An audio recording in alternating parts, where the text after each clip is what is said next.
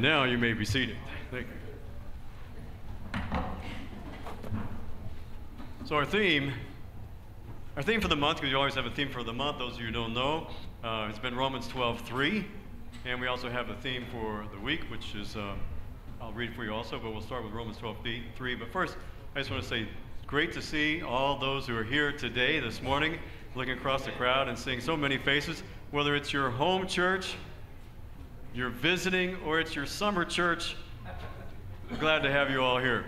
Amen. Amen. Um, so Romans 12:3 it says, "For I say, through the grace given unto me, to every man that is among you, not to think of himself more highly than he ought to think, but to think soberly, according as God hath dealt to every man the measure of faith." That's our theme for the month, and you'll see this playing out more throughout the uh, sermons as we go.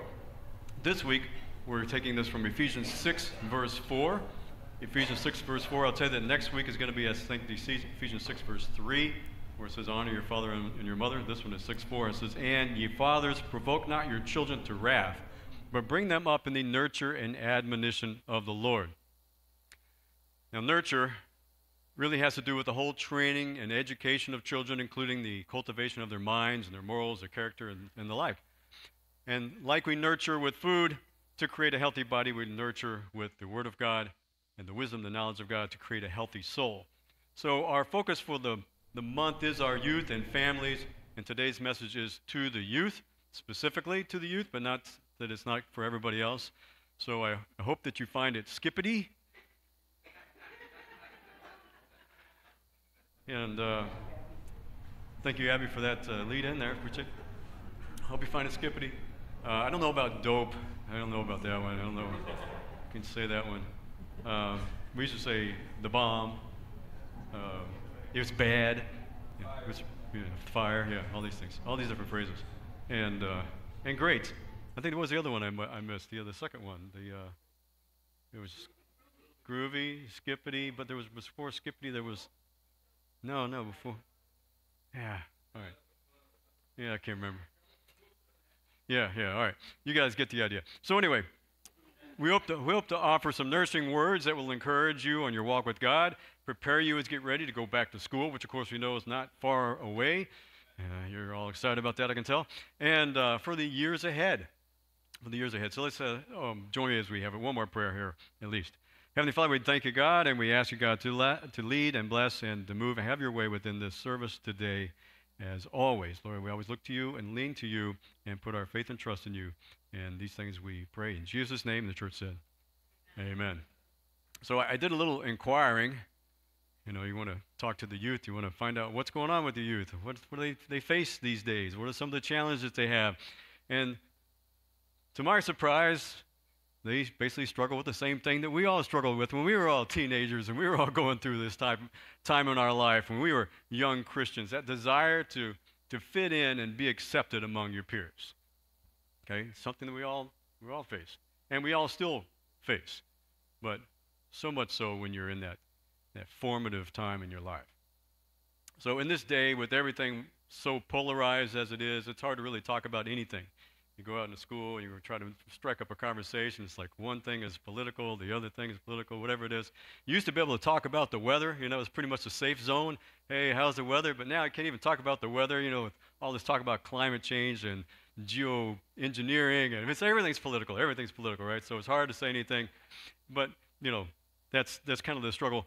No safe ground anymore, and uh, the world is increasingly opposed to Christianity itself. And, and, and I, so I want to say, I understand, you know, it's like you say, well, you don't know what it's like today. Well, I, I do see it. I don't know what it's like for you at your age. I know what it was like for my age, and I can just try to imagine what it'd be like for you in this day and age, in your age. So I know that the, the, the struggle can be real. I've personally witnessed the challenge living our faith poses to every believer, and regardless of age. So I want to talk, though, about the cost of fitting in.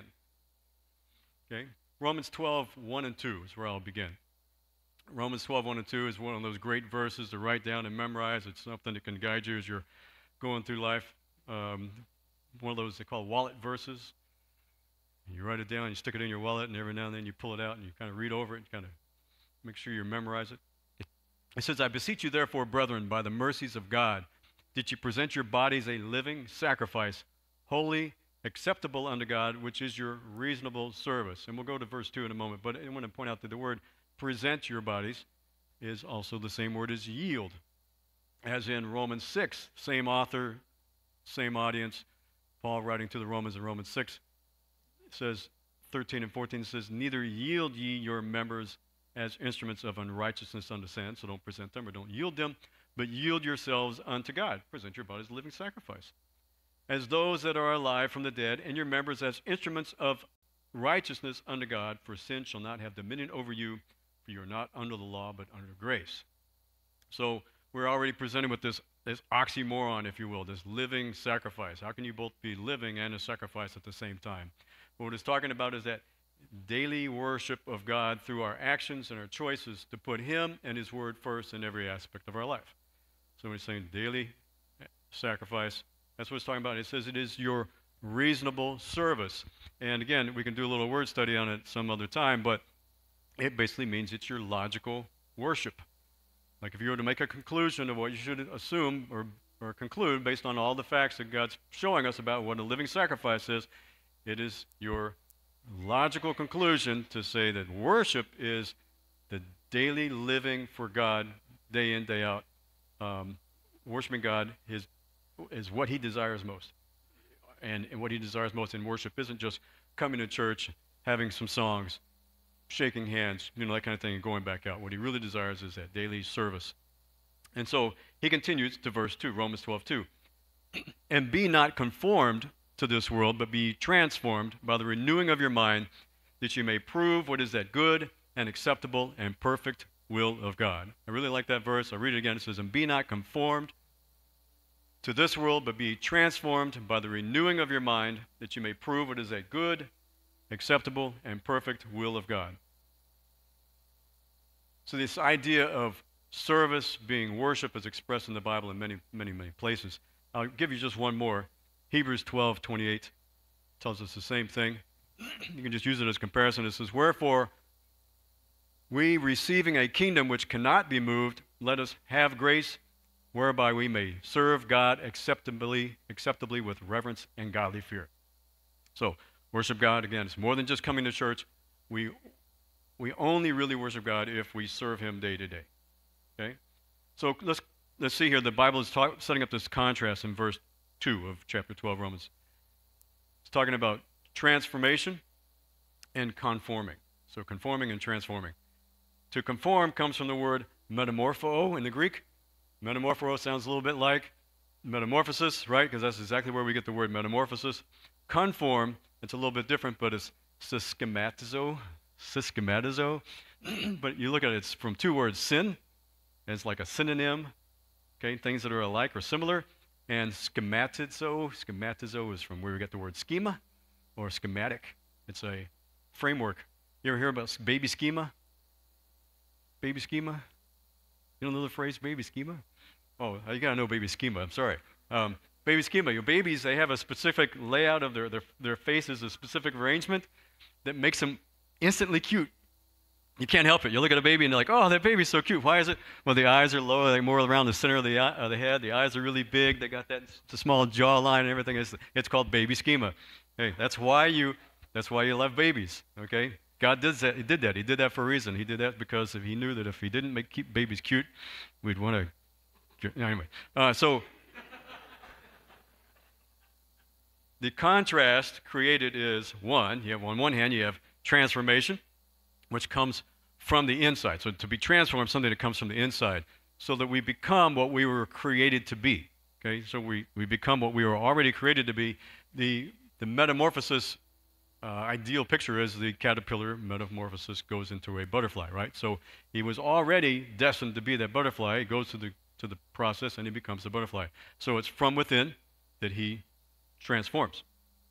But on the other hand, you have conformity. Conformity comes from an external force that causes us to appear to be like something that we are not. Okay, one, you're transforming into something that you're already destined to be. The other, you have an external force causing you to appear to be something that you are not. It could be like a human, a person, behaving like an animal. That would be a good example. Um, we can alter our external appearance and mimic our behavior. And we can do so so much so that we can scarcely recognize who we are really created to be. And this is a problem. Imagine that. It all starts with a little conformity. starts in a small scale and just continues to grow. Conformity comes in many forms, in many degrees. we are influenced by external forces all the time, right? Most of it is harmless. Um, you could probably pick uh, countless examples of it, but the other day, a family visited our home with their teenage son, and he was wearing over the ear headphones. You ever seen those like Beats by Dre kind of things, those big, big over the ear, ear headphones? But he wasn't listening to anything. He had them on, he had them up here at the top. He was wearing around talking to everybody. He moved them down below here, and he's talking with everybody. And I realized after a while, looking at this, that headphones have become a fashion accessory. I, I got to admit, though, for you young folks, that it's better than when I was a kid. And when I was a kid, we had this basically a mini portable stereo that you could put up on your shoulder and walk around with it, and we call it a boom box. Yeah, so I think you're stepping in the right direction.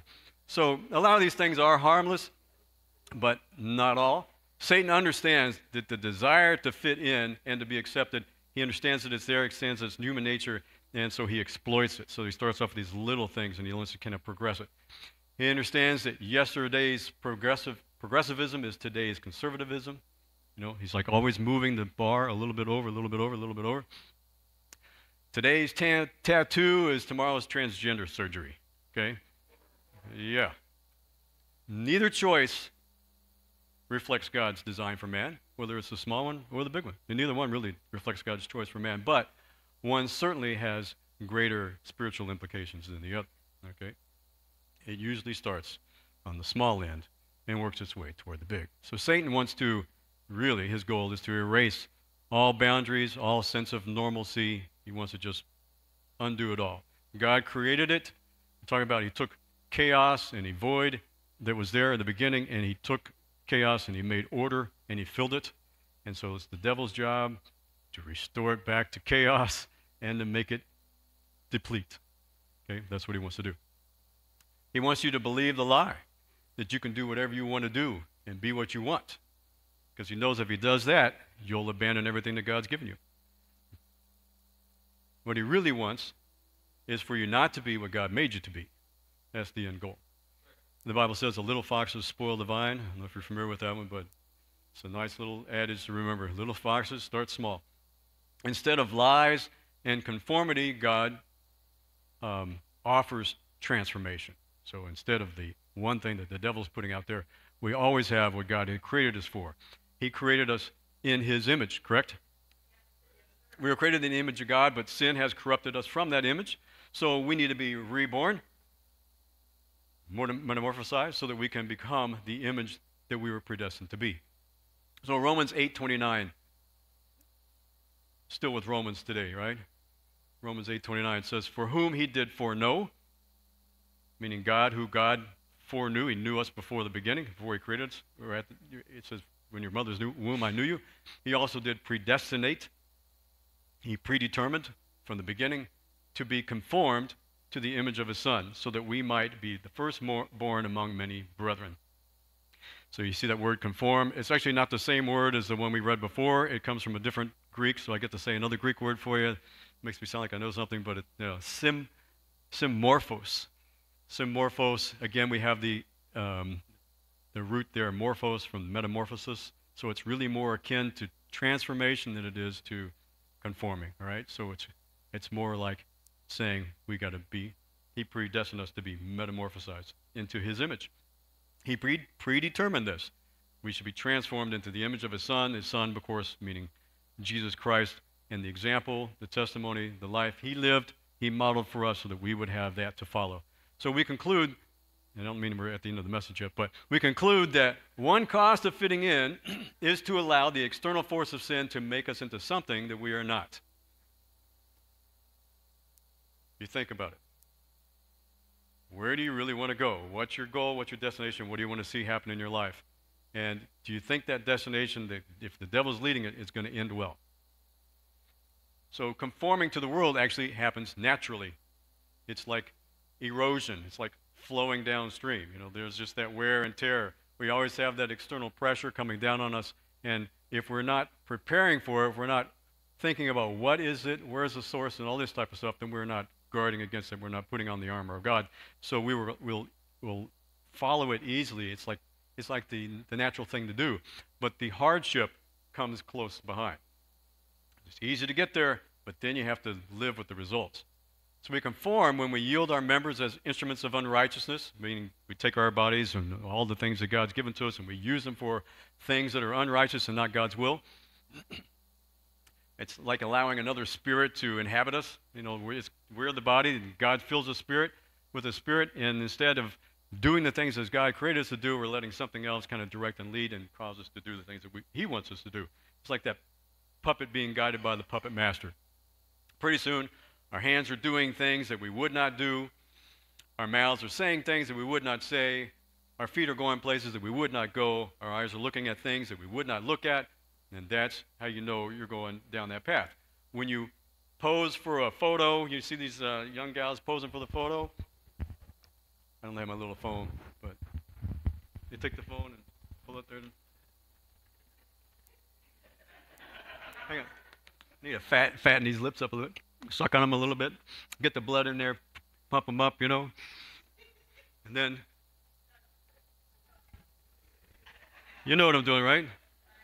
Lower that, that shoulder, that neckline, increase that angle up a little bit to get that, you know, all that's done. It's like you look at photos of people all across Facebook, social media, what do you see? They're all doing the exact same thing. External, external force, you think? External force going down there?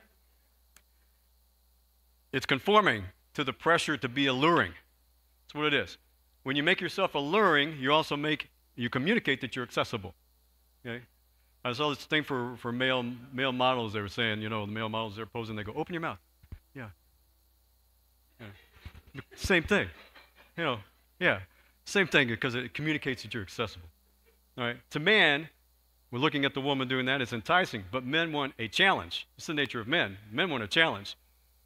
They want to talk about what they've done. They all boast about their accomplishments. Hey, when I was a kid, you know, I did this, or, you know, yeah, I rode in that truck, you know, I drove that thing, or whatever it was. Young men, they even boast about things they never did. My kids come home all the time and they say, yeah, so and so said he wouldn't do that. He's, he's only 10. There's no way, you know. But they do that just to appear to be men. They're like picking themselves up. Well, that's conformity also. So, ladies, if you want to, if you give something away to a man, he will, he will never be satisfied because he didn't earn it. He knows he didn't earn it. It wasn't a challenge to him. He got it for free, so it holds little value to him. You know what's more attractive to a man? Is modesty. It really is. Godliness is more attractive, and I'll explain to you why. The man has to measure up to your maturity. He does. He has to measure up to your maturity. He has to win you based on your godly values. So you set the standard and say, you meet up to this standard, then we'll talk. Okay? And he's like, man, I know that's that's work. yeah. Okay. So he has to come up to your, your godly values, which, which don't come without hard work and commitment.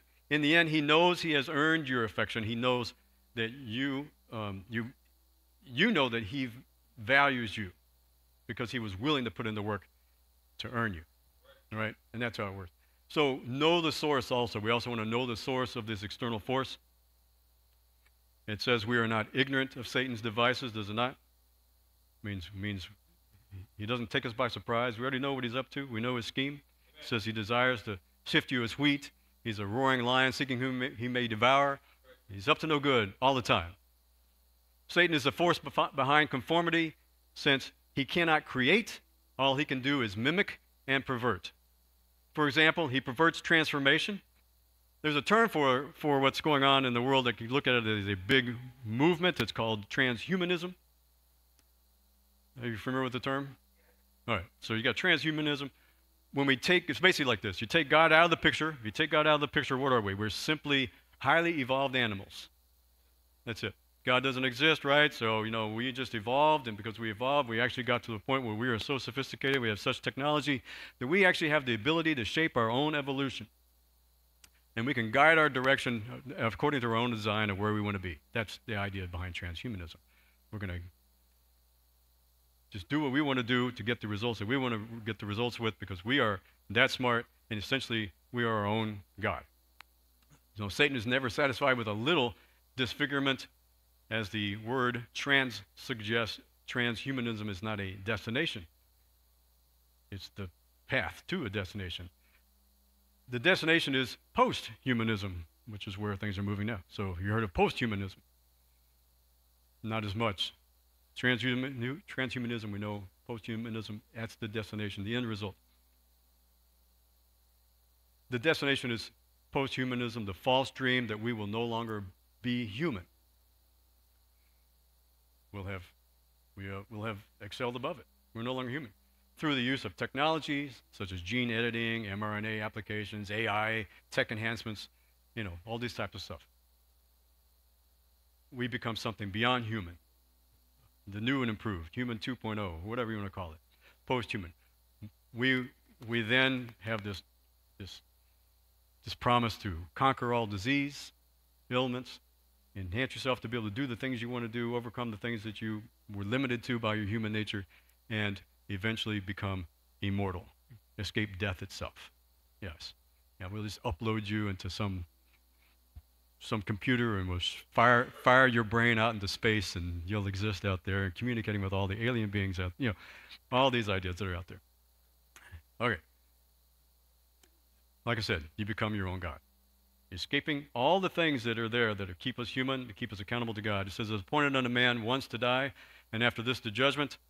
Right? So you have your life, you live, you die. After this, you have judgment. Well, if you can escape death, you can escape judgment. Isn't that really, the, really the, the goal for everybody? They're like, we just don't want to face that judgment in the end. So transformation is contrast by conformity. Once again, transformation makes us into the actual sons and daughters of God. Actually, makes us into the sons and daughters of God. Now, isn't that the opposite of all the things that the, that the world is promising, that they can't ever deliver on? And we can actually have it, we can actually receive it if we would just yield to God and let Him guide and lead us. That's really what I think we're here for. Not, not the false promises to become our own gods. Of course, we must be reminded that if we yield our members to sin, someone is always going to be the puppet master, so we never want to do that.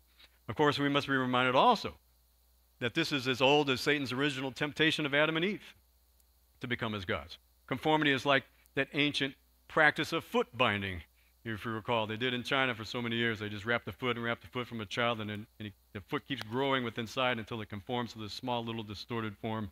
And there was, you know, great a deal of pain that came with it, and people had disabilities for the rest of their life because of this practice. So confirmation, or uh, conformity, sorry, leaves people in pain. And since Satan is never satisfied with the amount we comply, we always, he will always demand more and more and more of us, constantly. More pressure, more pressure, conform, conform, conform. You start going down that path, you just keep going down the path, there's no end to it. It's like that carrot on a stick, you can, you can never reach it. And 2 Peter 2, 18 and 19 says more about that. It says it better than I say it. It says, For when they speak great swelling words of vanity, right, all these promises of all the things that you can have and achieve, they allure through the lust of the flesh, right? Because we really want to escape death, we really want to escape judgment, we really want to have all the things our way. Through much wantonness, which is that lustfulness, those that were clean escaped from them who live in error, you know, those people who actually had made their commitment to God. While they promise them liberty, they themselves are the servants of corruption. So the same people that are telling you these things can happen, these things, they're all, they're all enslaved to it already. How can they give you any liberty when they're already slaves? That's exactly what it's saying. For of whom a man is overcome, of the same is he brought into bondage. Okay? They cannot offer you freedom because they themselves are enslaved. So people may want to fit in, but they can never fit in. The more they give, the more is demanded. Eventually, they become vested in their own lie. Okay, vested in your own lie means eventually they become their everything about their life is just like all put into this one thing until their identity is fake, their friends are fake, their joy is fake. You know, all their success that they think they have is all fake because it's all built on that same lie. But they're so vested in what they have committed themselves to for so long, it seems like they just can't give, give it up. For years and years and years, I've been doing this, been doing this. How am I going to leave it? How can I leave it now? To lose them would be to lose everything they've put their work behind for their whole life, however old they may be. What they really need, though, at this point, is someone to show them the way to transformation, to how to be transformed into the image of God. That means that they need each of you. They need each of you not who is being conformed to the world, but those who are standing strong, who are clean escaped from the corruption of the world, who are living righteously, living godly, not letting the pressures of the world sway you. As a song we read, sang this morning, I shall not be moved. That you're that kind of a person, because when all these things come around and their, their life has been going down that path for so long and they realize it's at a dead end, they need you. So you may be looking at them thinking, how do I fit in?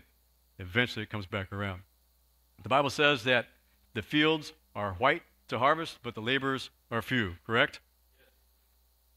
In other words, we may feel like we're the only ones living for God and everyone else wants to live for the world. We may feel that way, but the Bible says that there are many waiting to be shown the way. In other other words, there aren't a lack of people looking for salvation. You know, we think we think the fields are white, or we think we go out there, we share with people. Maybe you're out there at school and you feel like you're the only one, and all these people are trying to tell you to do this, do that, do this, do that. But what the Bible is telling us is that there are many, many people who want what you have, and you don't realize it. What we lack are the people to do the work. We lack are the people to make that stand. That's what we're, that's what we're lacking. You feel like you're the only one. The devil tells you you're the only one. But the Bible tells you differently. It says, Look, the, the fields are white to harvest, the laborers are few. It's actually the opposite. You may feel like everybody's against you, but really, they need what you have. Amen. One of the most beautiful things you can experience in life is having God use you to bring somebody to the knowledge of the truth. It's absolutely one of the most beautiful things. I tell you, just every time I have had the opportunity to sit down with somebody and share them with the Word of God, whether it's salvation or whether it's just overcoming some obstacle and, or, and just just sharing a verse in fellowship where like God just like wow I never saw that. but in, in that moment that that happens you know God is working through you. He's in you. You feel His presence. It's tangible. It's it's and it's something that you can share with others around you. And it's a beautiful thing. Now it's not that you may think well you know you've been doing this for a long time or whatever and may think that maybe you can't do that. You may feel insignificant or unprepared or whatever but I will just say this I began sharing the gospel the day I was born again. I came out of the tank and I got on the phone and I'm like, guess what? Guess what I learned? You know, this is what the Bible says. This is how to be born again. Um, and it's not because I was anybody special. It's just that I was excited about it. I started to do it. And when I started to do it, I started to learn more and more and more. Did anybody get saved when I first got out of the water and started sharing with anybody? anybody? No, absolutely they didn't. They said, "What are you telling us?" You know, we're. I was talking to my parents. We raised you. We brought you to church. We told you. You know, they totally rejected it. I mean, honestly, you know. So it's not that you you're not always successful. Maybe you are, maybe you're not. But it's the fact that you start doing it, and when you start doing it, you learn, you learn, you learn. So God does it through you. When you see the power of God work through you like that, it will go a long way to strengthen you in your walk with God against conformity just because you see, wow, I, I, there really is something here. There really is something that God wants to do within my life. And that will strengthen you. That'll, that will empower you more than anything else can. So you may think that sharing the gospel isn't easy, but, you know, you think maybe it's just something that I do because, well, I'll, I'll, I'll say what you're thinking because I'm old. But, uh, you know, really, it starts somewhere. The sooner you start, the sooner you will see God use you. And you'll find that He will use you no matter what. Regardless of your experience, your knowledge, He will use you. But to help others, we first need to be transformed ourselves, right? We have to do it for ourselves. Without the Spirit of God in our lives, we will be helpless, absolutely helpless. If you haven't accepted Christ, if that's you today, that's your first step. Accept Christ as your Lord and Savior. Accept Him in His Word for who He is. Accept Him in salvation, the way He tells us, regardless of the way we may think. Look to his word and find it there. Luke 22, 31 to 32 says, And the Lord said, Simon, Simon, behold, Satan hath desired to have you, that he may sift you as wheat. But I have prayed for thee, that thy faith fail not. And when thou art converted, strengthen thy brethren. Okay? Peter was one of the, the apostles, one of the disciples of Christ. Simon Peter, who he's referring to here, followed him all of his life. And yet, even in this time, he says, the devil wants to draw you away. He's making a bid for you, desires to have you. He says, but I prayed for you. And when you are converted, when you allow that take, change to take place, when you really start to grasp and understand, when you really let the Word of God and the Spirit of God work and move in your life, then strengthen your brethren. We have to be transformed first. Then we can strengthen others. So we cannot change the body, though. If we were thinking about how does this happen, how do we make this transformation? And again, back to Romans 12, it tells us we cannot change the body without changing the mind. Okay, you want to make the body change, the mind's got to change first. The mind is the, I like to say, the interface. Of course, it's not a scripture behind this one. it's the interface, though, in the, uh, as you look at the application, between the spiritual and the physical. Okay, right? The mind, we're praying to God, and the mind's telling the body what to do. We have the two things happening at the same time. So it says, through the renewing of the mind. Do not be conformed to this world, but be transformed by the renewing of the mind. So we have to have that mind renewed. And we do that through the Word of God and the Spirit of God. It's the only way to transformation into God's image. So when we allow God to direct us, we look to His Word, we have fellowship with one another, we worship God together, our lives reflect the image of God. That's what happens. That's the transformation. We start to let the Word of God tra- change us and transform us. Our marriages reflect the image of God as well through transformation because that's what's giving us. The Word of God is giving us the, the model for what marriage should be. Our families will reflect the image of God because it tells us again the model for what the family should be. In fact, family is one of the greatest antidotes to the pressures of the world. It's one of your safe havens if you have a godly family. And if you don't have a godly family in, in the natural, you have a godly family in the spiritual. So it's one of your safe havens. It is in our families that we gain our acceptance and our identity. okay? I'm going to explain this. When we create a lasting environment for the family, parents, when we create this lasting environment for our family, we, it, this becomes essential to the child. But when we conform the family to the world, this whole idea of how we raise the kids and so forth, as, the world's putting it out there, it says family, family is, event, is a nest that you eventually throw your kids out of. That's the way the world looks at it. So I'm sorry, parents. We, uh, I know you're hoping to become empty nesters and all that, but um, now, I don't mean that they should be living in your basement or anything either, but I'll explain. There are many biblical examples to draw from when looking for a proper example of a family home. I'm just going to use one. It's John 14, 2 through 3.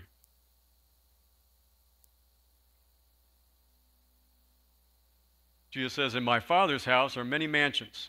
If it were not so, I would have told you. I go to prepare a place for you.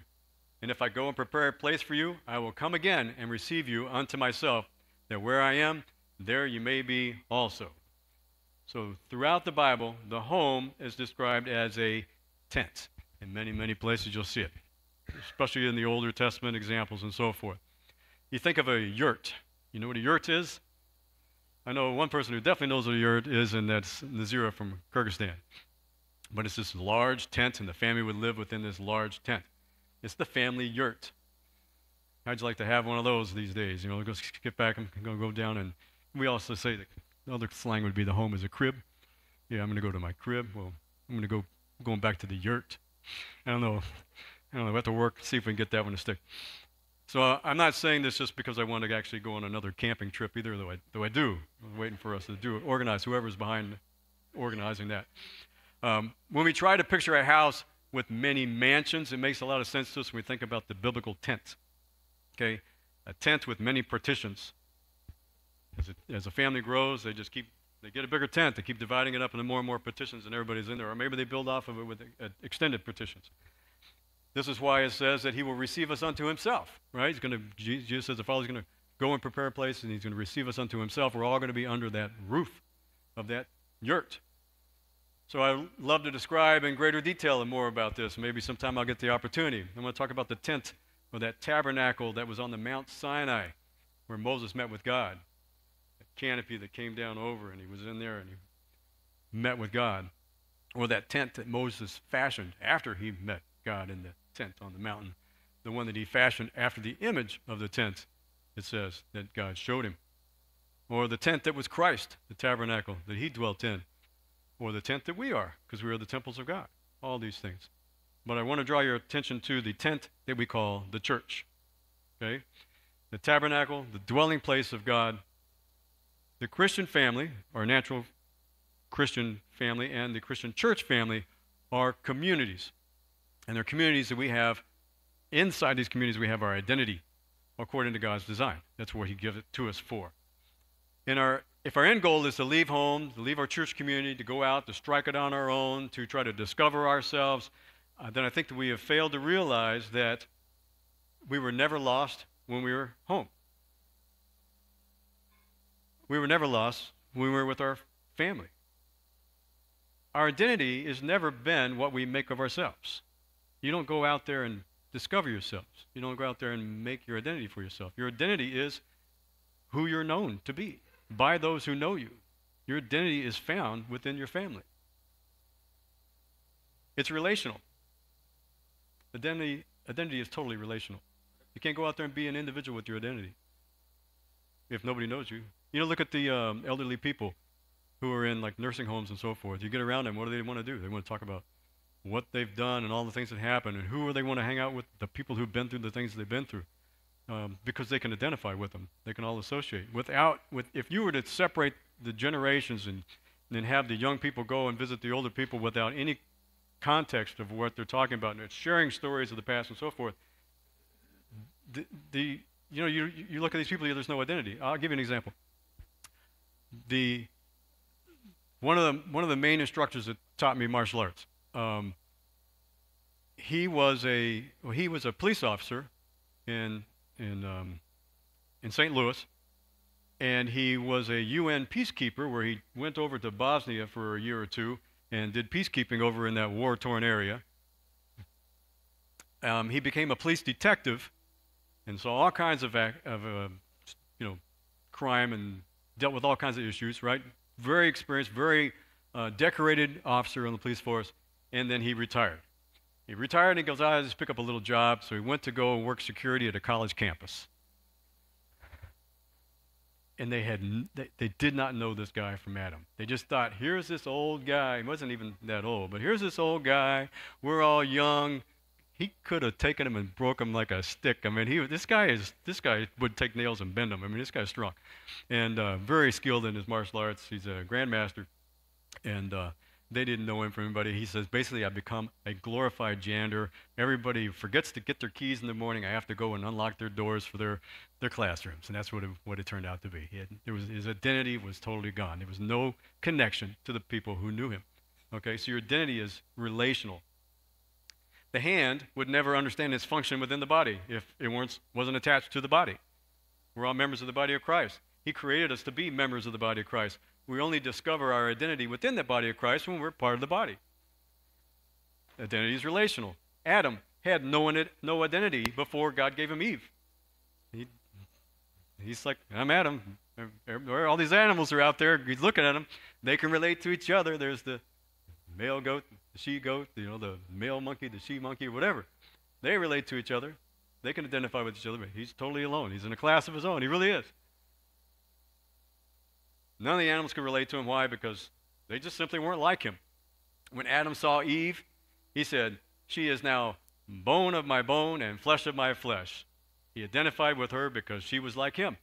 He said, He called her Isha, which means we, we use that to say woman, because she was taken from man.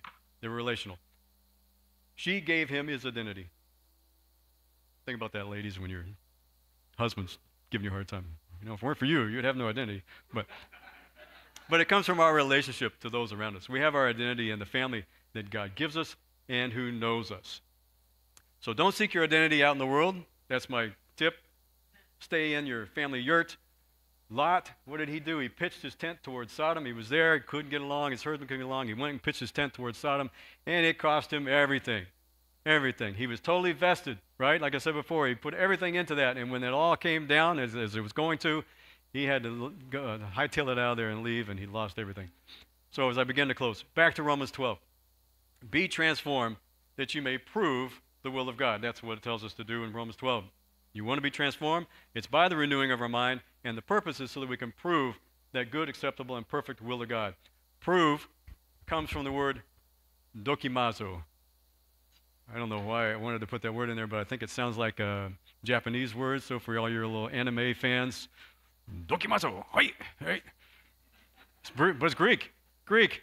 It's often has a sense of finding out the worth of something by putting it to use or putting it to the test.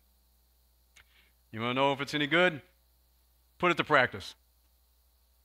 You may think that that driver's ed class was enough for you to be able to manage uh, I 94, but until you're out there on I 94, you just don't know.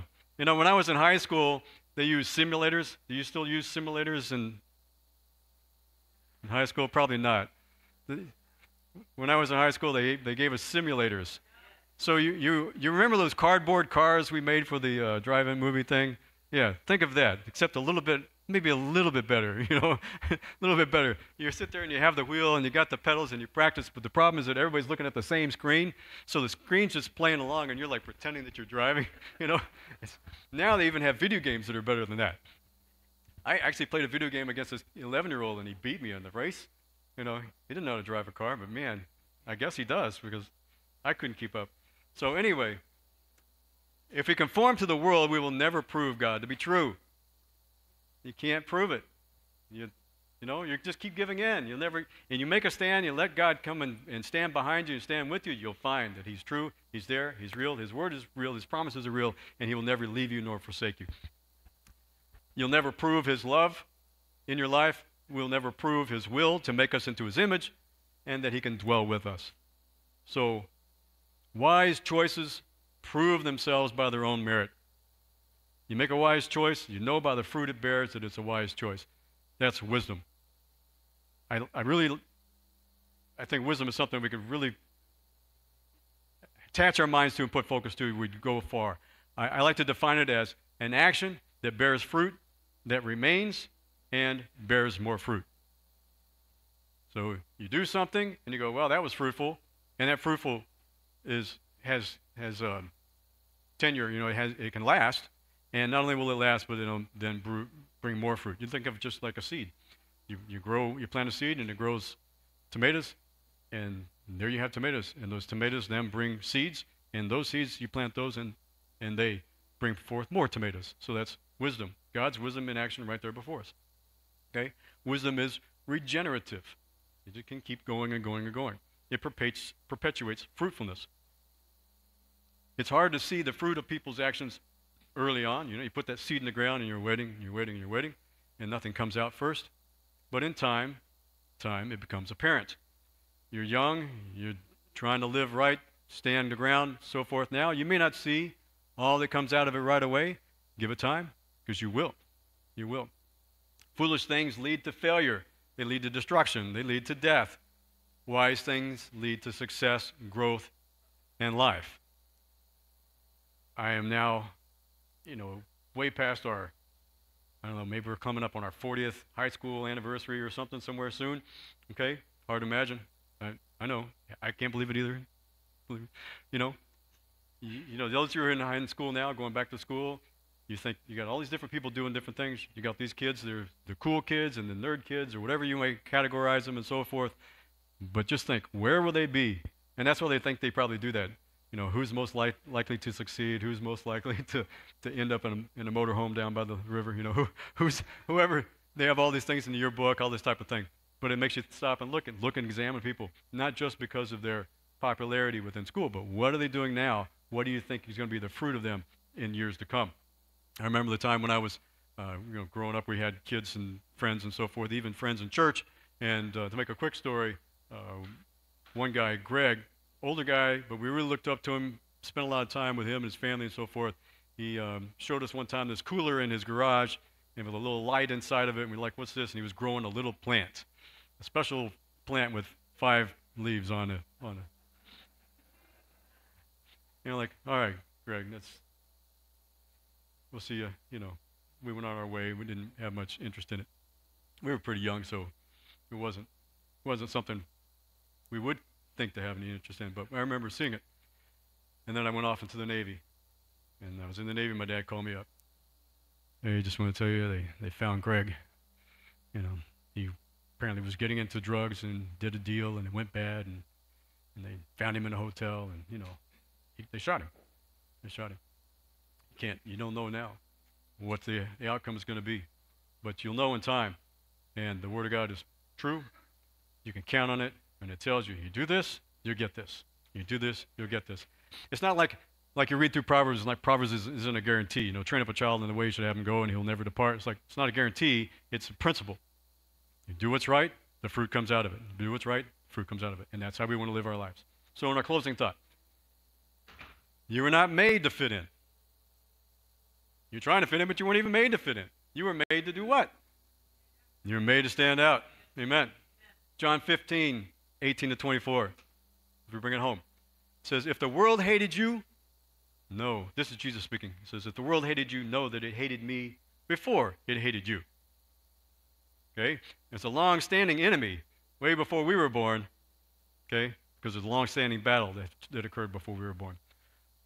If you were of the world, the world would love his own. But because you are not of the world, but I have chosen you out of the world, therefore the world hates you. You got those that they're just not going to like what you have to say and do.